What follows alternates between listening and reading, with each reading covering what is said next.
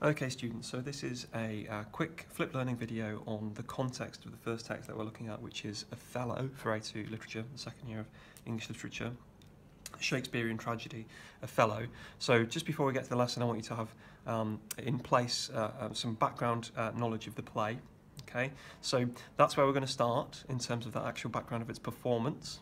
So uh, understanding of the Shakespearean theatre. So the first thing to say about the, the performance of the play is it's first performed in 1604.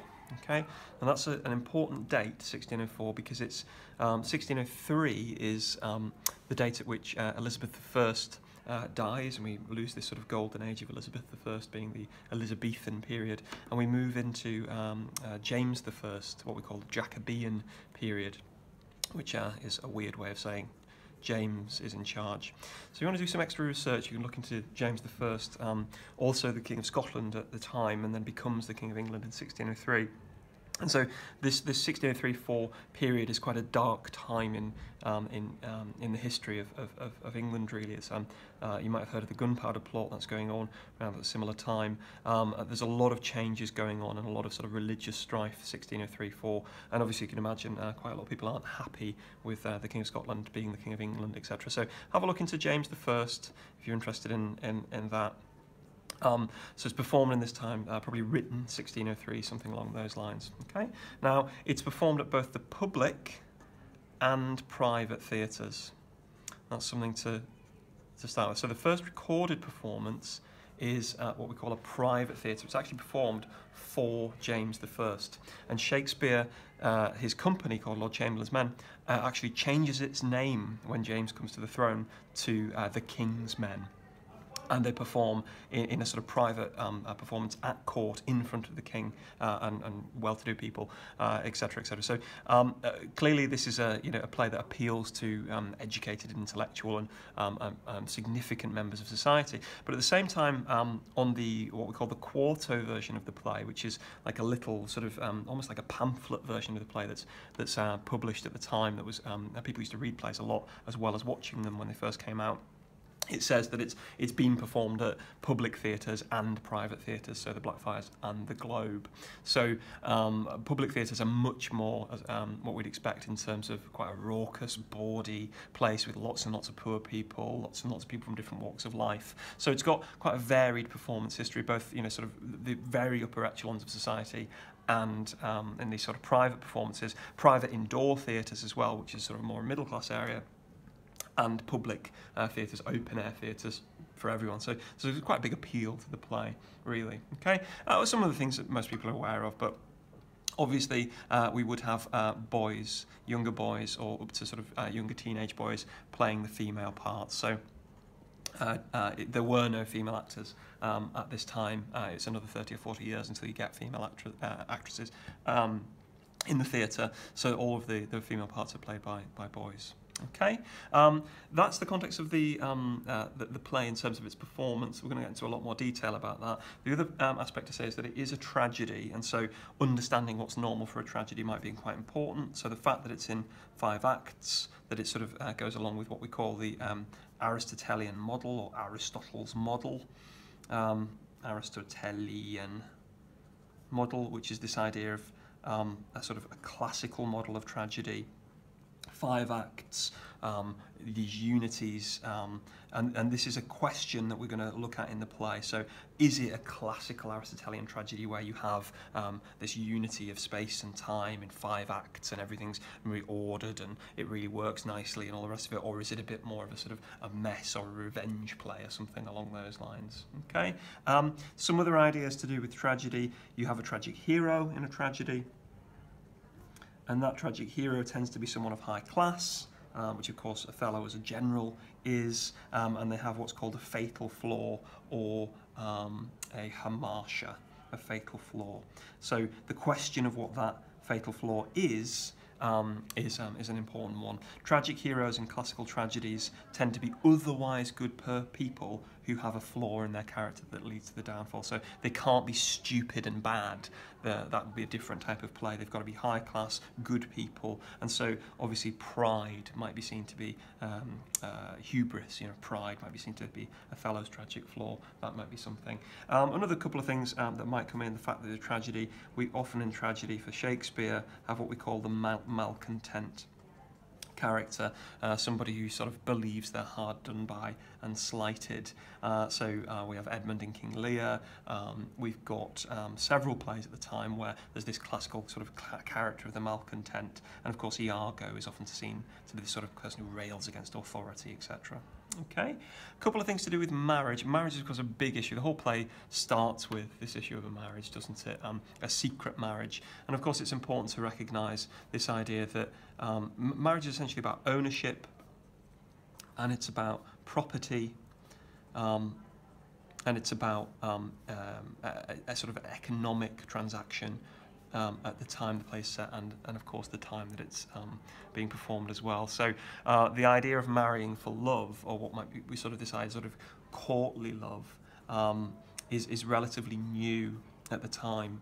Um, so the idea that you would marry for love, the idea you would write poems to each other and fall in love and, and experience these, these intense emotions, that's a very separate question from marriage, which is essentially sort of an economic process. Uh, and women are the property of their fathers, and then they are sort of transferred to be property of their husbands. And so the idea of, of, of, of marriage um, uh, being for love is a very new and challenging idea at the time. So this idea of a sort of an equal marriage is um, uh, is a sort of new and exciting idea. Uh, even the idea of sort of marriage by choice or marriage because you fall in love, um, that's a, a, challenging idea at the time. There'll be many, many uh, arranged marriages, especially in the upper echelons of society, uh, with people like Desdemona uh, in, in this uh, society. And of course, um, mixed marriage is, is not unheard of um, uh, mixed race marriage is not unheard of in the, uh, the 16th and 17th centuries, but it is incredibly rare and, and would be seen um, uh, as, as, as, a very challenging concept, and, and there would be some expectation of that leading to, to, to problems at the time, given some of the, the different attitudes towards race that people had at that time. Okay, um, the, the, the, play is set in two different places. Um, the first act is um, set in um, in uh, beg your pardon, I've done that completely wrong. Acts uh, 2 to 5, uh, we do have to use Roman numerals. Okay, so it, it, 2 to 5 is set in Cyprus, and Act 1 is set in Venice. Okay, so in understanding what that means to people in, in London at that time, you know, in exactly the same way, um, we've got um, different uh, attitudes towards, uh, say, Italy and Spain, and different sort of stereotypes at the time that, uh, that we've got today. At the time, you had uh, sort of stereotypes about these different places where the play is set. So Venice would be seen as um, quite a sort of civilized place, um, even though it's a, a Catholic country, um, and of course there's some religious tension at the time, which we might get into. Um, it's seen as very civilized. It's um, some of the similar um, uh, stereotypes about Italians that people have today were still felt were, were felt back then as well, and so uh, the idea of it being quite a passionate place.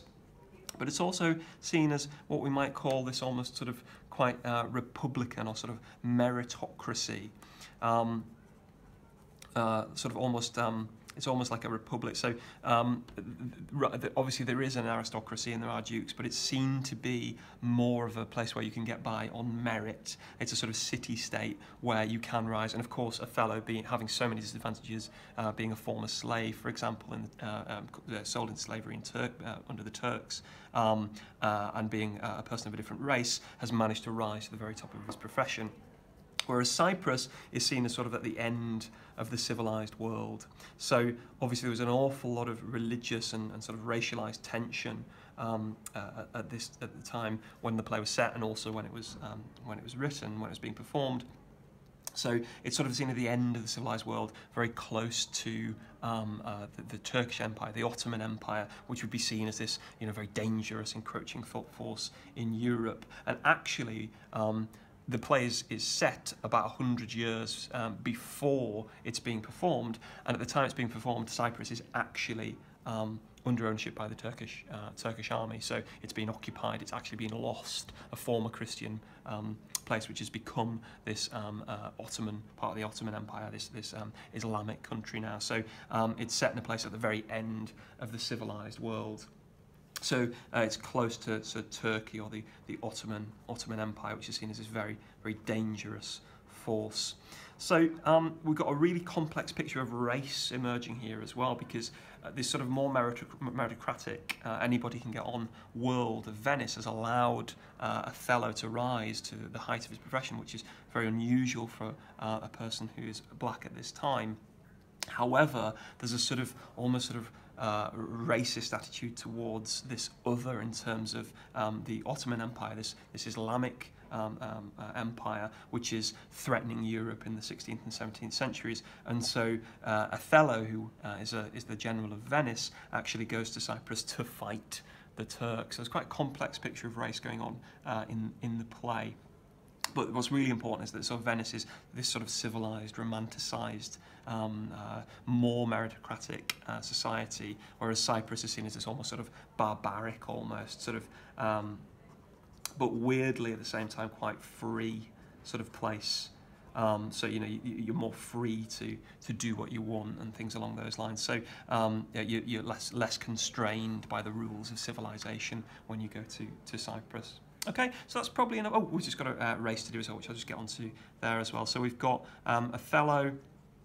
Obviously, um, uh, race is a big question at the time, but essentially, um, race is, is, is, is sort of of course, there were attitudes um, uh, that were racist at the time, but it, it's more a sense of, of being exotic. So in London at the time the play was performed, there were people um, from different countries. There were there were black people in London at this time, as well as people from uh, the Middle East, uh, but they were mainly sort of ambassadors and tradespeople. Um, and and the idea that you get more in more recent history, the racist ideas of perhaps um, uh, people from different countries being inferior were not really as firmly developed. This is pre the slave trade, the European uh, and the African uh, slave trade. Um, but what you do get is a sort of a racist attitude, which is to make uh, people who are foreign seem exotic and perhaps a little bit dangerous or different in those ways. So uh, there's this sort of exoticism about race uh, at, at the time.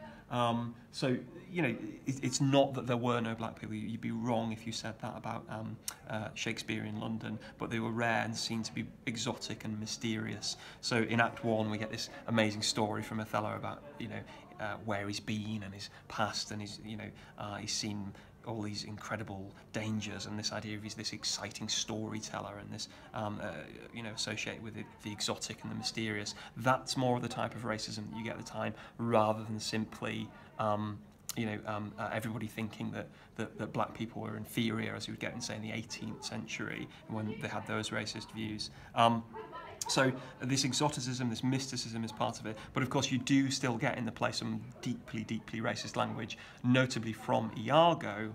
Um, however, the important point is we're not necessarily supposed to see things from Iago's perspective.